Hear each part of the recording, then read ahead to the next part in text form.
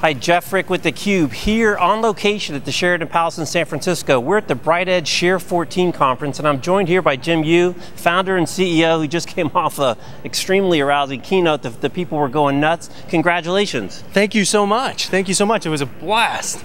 So talk about the kind of the growth of the conference. Clearly, uh, I think we stopped by last year. There weren't this many people. Yeah. It's fourth year. How's it been going? It's incredible. I mean, we've gone to over a thousand people here today at the conference, so it's a, it's a great, great amount of growth and, and excitement. So for the folks that aren't familiar with BrightEdge, give us a little update on the company, number of customers, growth, what's uh, employees, kind of where are you? Yeah, so just amazing growth. We have over a thousand customers now worldwide. We've built out six global offices. We have over 200 employees now across the team, really helping support our customers and working with them in their digital marketing programs. So, Todd, You guys have a really unique perspective on content marketing, right? Mm -hmm. Everyone's talking about content yeah. marketing. It's kind of the new rage, but you you've been kind of doing content marketing for a while, disguised yep. as SEO. So, mm -hmm. give us your perspective on content marketing and also your customers' uh, acceptance mm -hmm. of taking in in all this different types of content beyond just the stuff they generate?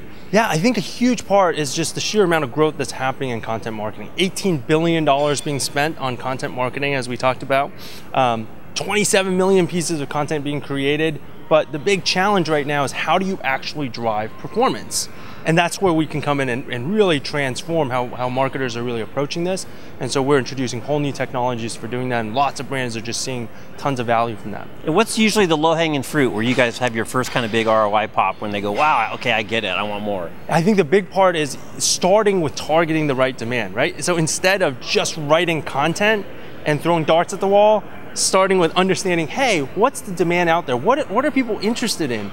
And then writing about that. It sounds really simple, but it's incredible that most of how people do content marketing doesn't even start with targeting the right demand. So that's an easy step to get started with.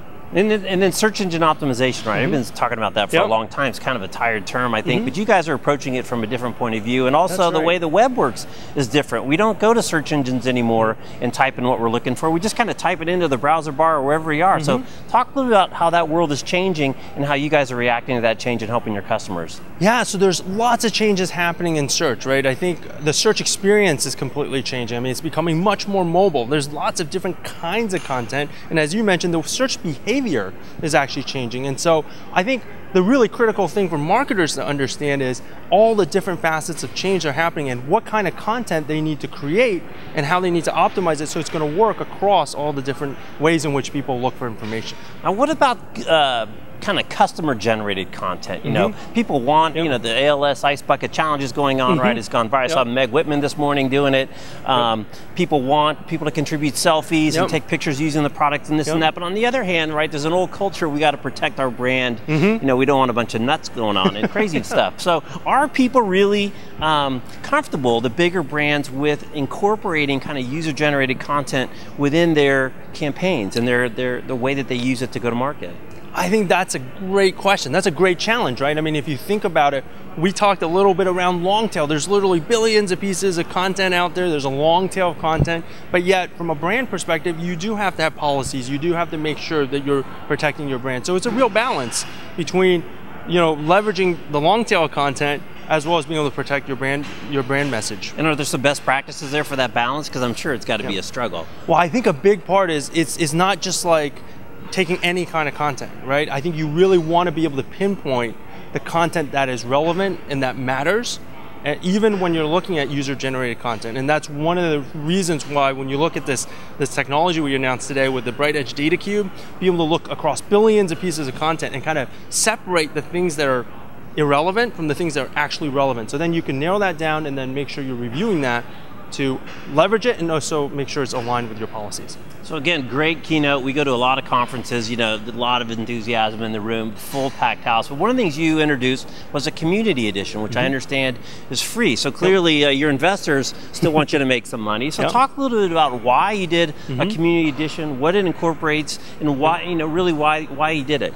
Well, the, the big driver for why we're doing this is because we want to drive the industry forward. We want to empower all the different marketers out there. You know, there's so much interest and demand right now for content marketing, but yet there's a huge challenge around driving performance. So we wanted to take our best technology and give it to the community in a way where it's going to really empower them. As a part of that, as we help marketers drive more performance, they need more advanced capabilities that oh, also helps us. So is that out now? Is it uh, GA? It's not GA yet. We're pre- we previewed that today, but you know people can go to brightedge.com slash get community and be able to uh, get early access. Okay, and I'm going to put you on the spot a little bit. I know you've been busting your butt and the team's been busting their butt getting ready for today.